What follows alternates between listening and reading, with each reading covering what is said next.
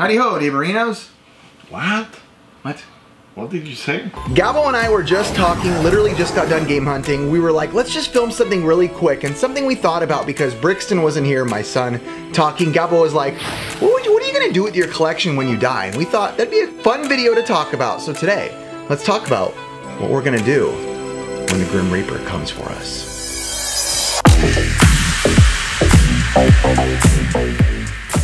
Okay, Rifo, Yes, sir. if you die tomorrow, well, let's put next week, what you gonna do or what you would like to do with your collection? So I think any collector, if you really think about it, I think the, the obvious answer, if you have kids or family, you think to yourself, your first reaction is to pass it down to your kids. But in reality, we have to remember that if you've watched like Pawn Stars and things like that, a lot of these things get that get passed down to kids might seem like a good thing for us, which it may for me as well. But I almost feel like you have to make sure that your kids are gonna have even some sort of attachment to it because if not, I mean, when you pass it, of course, they can do what they want with it. But this is stuff that we're passionate about, and it's like you want to make sure if you're giving it to them that they actually will hold on to this stuff or take care of it or love it in a specific way. Yeah, for us, it can be, you know, the best or most precious treasures. Yeah. But for them, who knows? Probably that collection is gonna spend a lot of years in a basement. Yeah. And then, I don't know, in a eBay. Yeah. Goodwill. Obviously, another option is just to sell it.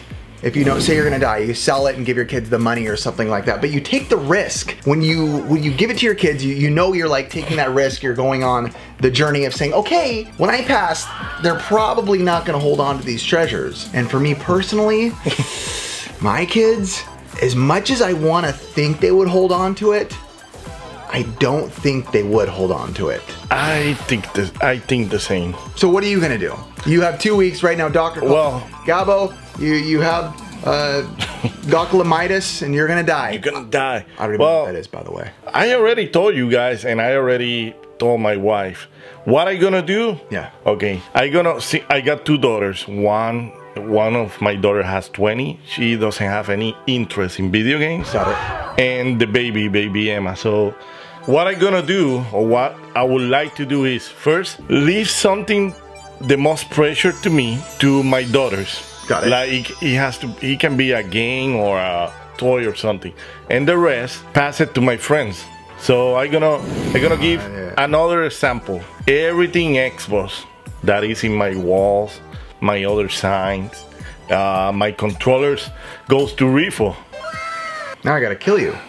Yeah, and the Nintendo stuff, I need to think who. Probably Ricky. Ah, but Ricky is not that lower of the Switch. Probably my Nintendo stuff, the the other figures I have.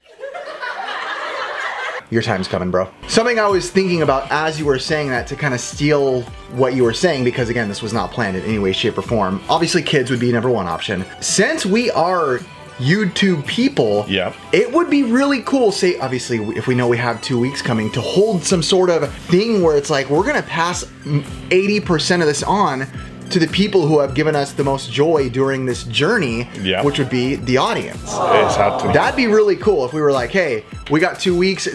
I mean, there's so much stuff that it's almost like we could give away 80% and be able to literally give away one thing to each subscriber or person that engages or cares. That would be really cool. I think That that'd be would like be cool awesome. send off yeah, I need to write down in my how do you call that? in your in your will. In my will. You're gonna write down the audience yeah. in your will. Yes. Because remember, I don't sell. I give. Yeah, that's a actually that's a great idea. But but I mean, I would like to in the in the case of you guys, I would like for you guys to have something from me that always remind you know Got it. re- remind you about me like oh Yeah. that stupid guy or whatever Now, say, you know, uh, we all have different opinions in the world on religion and afterlife and all that, and that's cool. Say that you, Mm-hmm. again, this isn't saying anything about any religion, anything. Say you know that you're going to be able to see people when you die, right? You can watch them, yeah right? the spirits and Say you can yeah. experience that. You watch the people. Yeah. Would you be sad do you feel like you would be sad if you gave stuff to your daughters, your friends, and I wouldn't say they fell on hard times, but just, you know, wanted to make some bucks? And I use Pawn Stars as an example Oh, because. pro- probably I'm coming back to hunt them wow. as a ghost. Did you say haunt them or hunt them? Because those are Hunt two them. different things. Well, I don't know. Uh, Yeah. Whatever. Whenever I'm watching Pawn Stars, I always feel a little bit weird, and you can tell Rick and Chum do too. When they're like, "Oh, where'd you get this?" and they're like, "Yeah, it was my grandpa's. It was real, and his grandpa's, and his Yeah. grandpa's, his grandpa's," and they're like, "And I just wanted to go gamble in Vegas this weekend." Yeah, that sucks. To be honest, it, it makes me kind of mad. But again, everybody's different. Yeah. Who knows if they really need the money? Well, hard times is a different. thing. Yes. That's- But- that's a completely different ballgame. But to me personally, that's kind of uh, I don't know. That's Yeah. That's not good, in my humble opinion. Got it. But if it was, say it was something that I really loved, right? Something that's really precious to me, an old school game that I had, that I had when I was a kid. Say it became a worth a bunch of money, and say my son went through hard times, lost his job, and you know was gonna needed to pay his mortgage. Well- I don't think I would be sad in that case, knowing that he had to Well, me too. In that case, I stay in paradise and I don't go down and hunt them. and kill him. No, I don't kill. I hunt. I don't kill. Wow. All right. That was stupid, right? You're always stupid. Now, speaking towards some other people that I know collect and would have ideas about this, what about the idea of possibly giving some of your stuff up for like, you know, some of your more heavy hitter stuff to like museums or something like that Oh, where yeah. it's more preserving the history like, Yeah. yeah, I know I'm gonna go, my kids don't care, the audience didn't care, or maybe they do. Definitely. Yeah, definitely. I would do that. I would love to do that. Yeah. Donate it to history Yes. so that for the rest of time people can see Yeah. your stuff. If what I got is unique, then right now I don't think I have something unique. Only me, I'm unique. You're pretty unique. Yeah, you too. Oh. Kind of tying into that, but a little bit different. What stuff is the more high price stuff to you the stuff that's the most valuable in your collection, or is it the stuff that was more like the journey of the collection? Say for me, it can be anything. I mean, it can literally be this because Gabbo gave this to me after a hunt.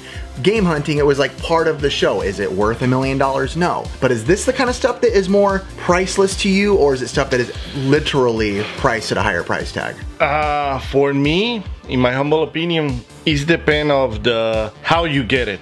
For me, most but yeah, the, we can say, uh, for example, I, I remember the first score that I have with you guys. Nice.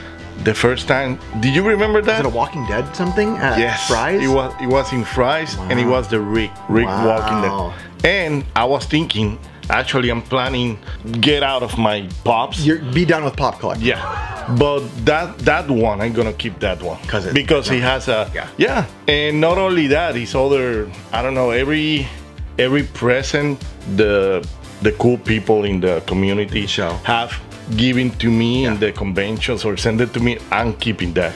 I'm with you too. I, for me, especially as someone who obviously has a passion for documenting this, you know, I've been documenting this for almost a decade now on other channels and stuff as well. For me, especially like this room, because this room, I pretty much didn't bring in any of my old stuff, no old games, no old toys, nothing. This was like an empty slate almost to where I was like, everything I collect on the show, on the journey with Mikey, with Gabbo, Mort, NES Complex, everybody, Ricky, I'm gonna, that's what's gonna go in the room. So for me, even like, when I look around this room, is it a bunch of rare stuff? No, but it's like, I remember who gave me that. I remember how I got that. I remember where Yeah. I bought those.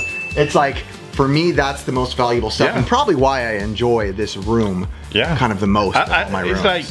like I think like one uh, last year I post a picture on Instagram because I found the first ever present they sent to me. a fan of the show.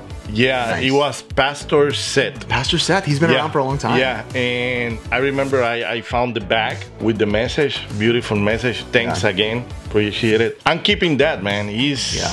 It's special stuff. yeah, dude. It's that's that's that's special. Yeah. like you. So we had to say an answer, it sounds like to wrap up, basically it'd be like a mixture of like trying to give our kids stuff that would actually make sense for them. That's kind of mm-hmm. I feel like both of our final answer. Selling it off doesn't really sound like something either of us are interested in doing because there's too much memories, too much nostalgia. I mean, I, it's different for like selling like get our PlayStation 4 stuff or Xbox One stuff. That's a different ballgame. right. That's a different ballgame. That stuff I'd be willing. this room genuinely stinks.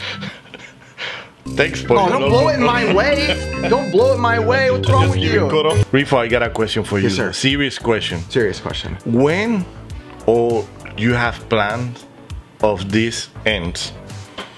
No. Your YouTube career.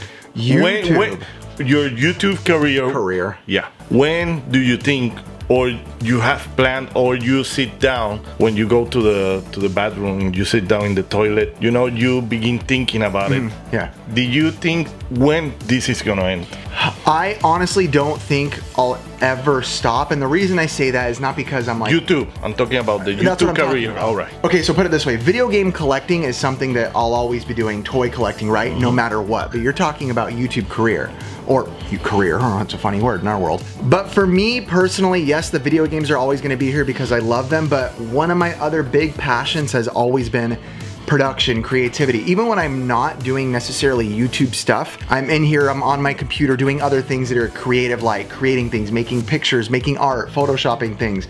That's just kind of my thing.